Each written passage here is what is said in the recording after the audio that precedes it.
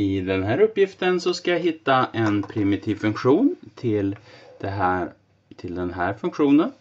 Och det första jag gör det är att jag använder mig av andra kvadreringsregeln för att lösa parentesen. Så f av x är lika med 2 parentes x i kvadrat minus 10x plus 25. Multiplicerar in tvåan i parentesen så får jag f av x lika med 2x i kvadrat minus 20x plus 50. Sådär. Sedan tar jag och hittar en primitiv funktion.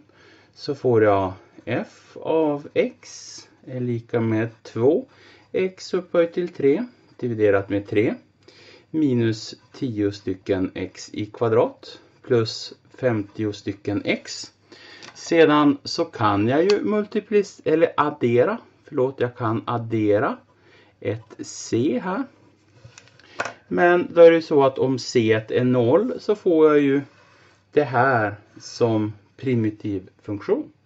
Men Jag skulle kunna lägga till en valfri konstant om jag vill också.